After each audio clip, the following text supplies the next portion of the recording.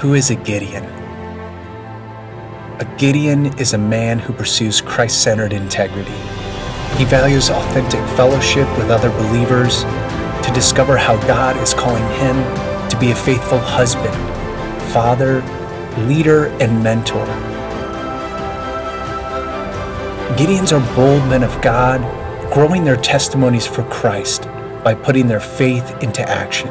They impact their communities by sharing their faith in His Word with the world.